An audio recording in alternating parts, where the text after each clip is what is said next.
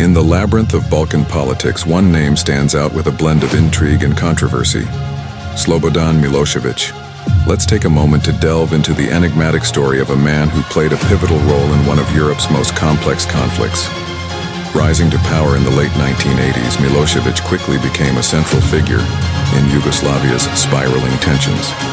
His brand of nationalism and political maneuvering set the stage for a decade marked by strife and division.